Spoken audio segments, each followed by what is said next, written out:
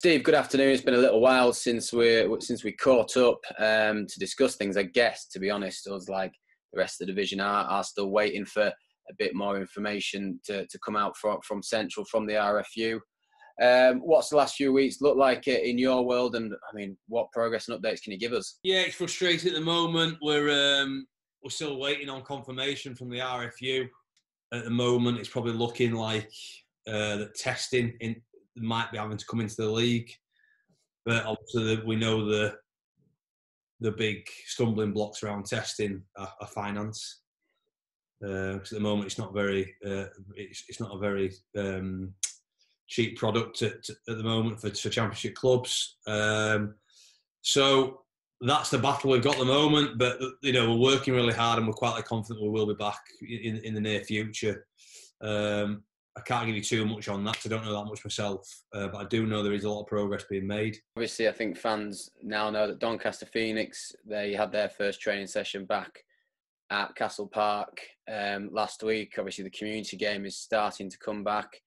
Um, it's not quite that easy, I guess, to bring back back the Knights and the Championship squads. I know some are back in training, but could you just explain sort of some of the nuances and the reasons why we haven't started training yet? All of us are absolutely itching to get back in, which is not always the case pre-season. The players are literally desperate to get back into pre-season, which is, you know, like I said it's not always the case, but um, you know, we're, we're ready for it. It's just the fact that obviously with the furlough system and finance, we've been a professional outfit bringing them back in means they've got to become off the furlough, which doesn't suit, you know, financially for a business model where we are right now, and as a club of our size, doesn't fit. Um, some clubs have gone down a route. You know, Jersey, Ealing, the back, they're back, and the and the and the fully training. Um, we decided as a club that it'd be, it wouldn't be worth doing until we get a start date, and we have no start date.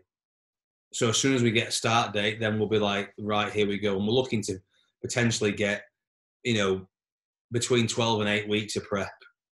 I'm sure most people are pretty familiar with how tough it, it has been financially out there at the moment, not just for sports clubs, and also, I guess, a an endless pre-season sounds like a lot of players' idea of hell. So uh, let's wait until we can can yeah. get a start date on. Periodise as well when you haven't got an end goal of where you want to be. Um, or the first game, so they're quite hard to periodise. And like I said, it could be, you know, some clubs now have been in training for five months, and you know that's that's fantastic for them. I think you know, and, and tip of the hat to them to get back in. But you know, we just financially, it's not it's not viable for us to do that. We are now into a stage of the furlough where I think it's a flexible furlough, and I know that you have got Dougie Flockhart issuing sort of individual fitness uh, and strength programs to players that they are being expected to do in their own time. Yeah, they've got um, programs that they're running at home. Obviously, it's, it's, it's just basically covering off a lot of stuff that we're feeling like it's going to be a challenge when we come back. You know, we've got to realise these players now have had the most amount of time off they've ever had in their careers or away from the club. So we're basically going to unknown territory. Um, obviously there's been a lot of soft tissue injuries, so that's like muscle pulls and tears in other other formats of sport that have come back. Um, so I think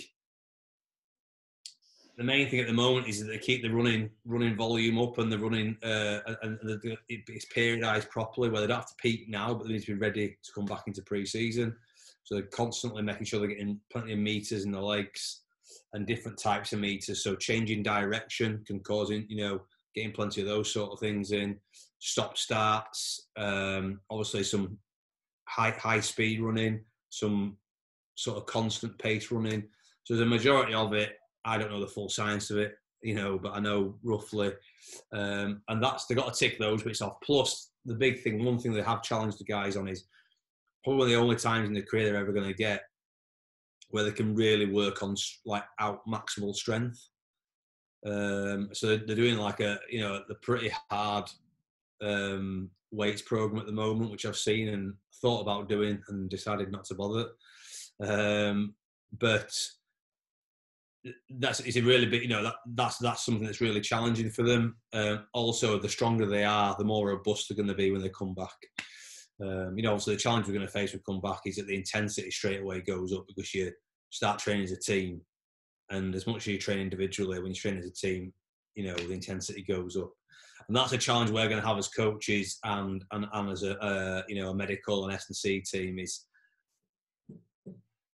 whatever time we get, it's really it's, it's, quite tough because it's hard to periodize it because we want to we can't start too hard because we'll get straight away we'll get a spike and we'll get quite a few injuries or the, the, the inevitably we, we, probably will do but we also can't start too soft because we potentially could have a game in eight to ten weeks and we need to hit the ground running.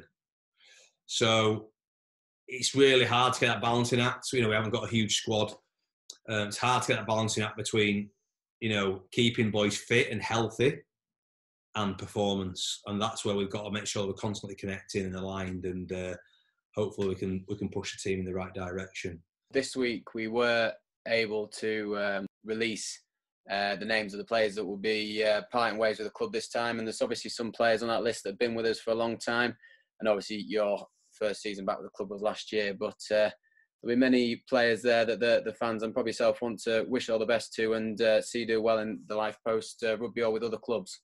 Yeah, and rightly so. I said there's been some great servants to the club. I mean, I won't go through them all because you know obviously it, um, it would take, take a long time because there's a big turnover of players this year. But you know they've all been in a Doncaster shirt and you know they've all given into giving into Doncaster as much as they could. So you know it's like I said they deserve a, a good send off. It's a shame that we can't do that.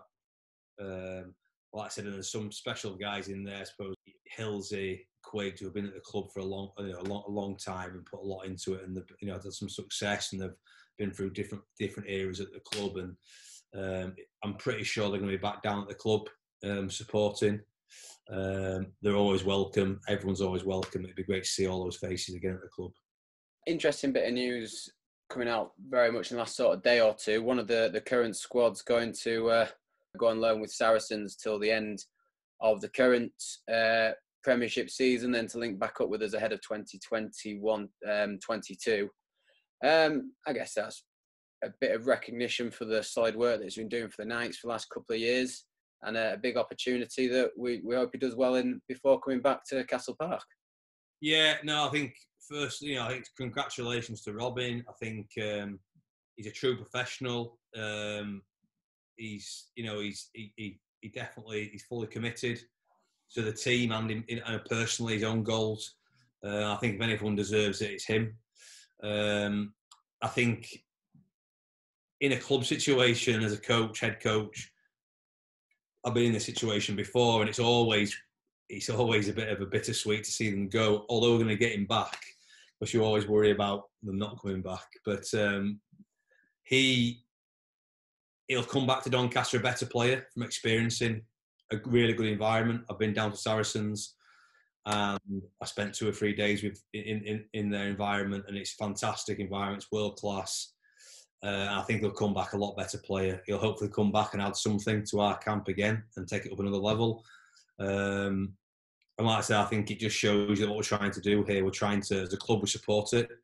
We want to be, we want people that are ambitious, that want to play at the next level, want to test themselves and get better um, and grow. And this is just showing exactly what we're about as uh, you know moving forward as a Doncaster Knights team.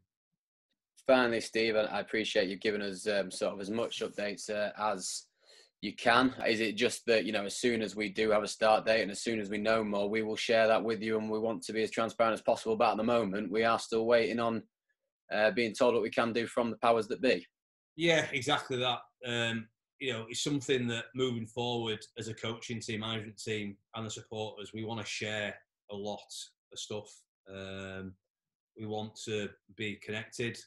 Uh, we feel it's important because I think sometimes it, you you can see why we're doing stuff that you might not understand in the first place. Um, so we're, we are going to try and work a really close relationship between the, the coaching staff and the supporters, um, and that, that that starts with that. As soon as we know something, then the supporters will know something. But we can't tell you something we don't already know. Um, what we can say is we the frustrations you're feeling, we probably feel them ten times over because it's you know it's our it's our careers and it's our livelihoods, and we're desperate to get back in and what it will do potentially is, is when we do get back in, it'll probably make us a lot more um, appreciative of what we do.